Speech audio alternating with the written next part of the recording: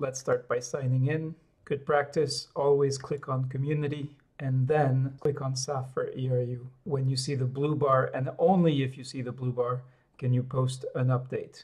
Click on update, click on title, and this will open up the update window.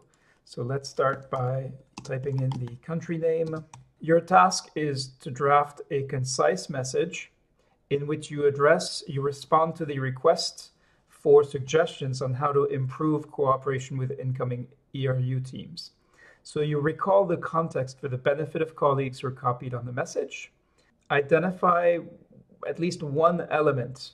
So in this case, I've chosen acceptance of the societies.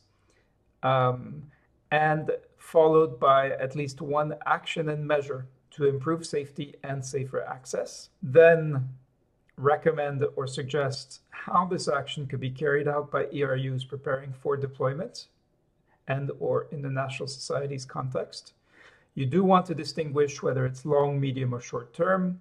And then for each action, you want to actually explain why it's necessary and how we, it would actually help. You want to show in your message that you are sensitive to the circumstances in which your counterpart is working. So that's basically what you have to do. As soon as you've finished that, you can add an update. Now, there are some features here um, whereby you can add bullet lists, numbered lists, um, you can add links, and you can even embed a YouTube video or an attachment or a file attachment.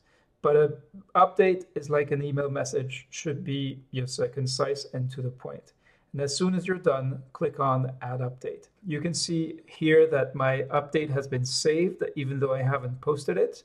So what you should be able to do, and let me just show you, is log out, log back in.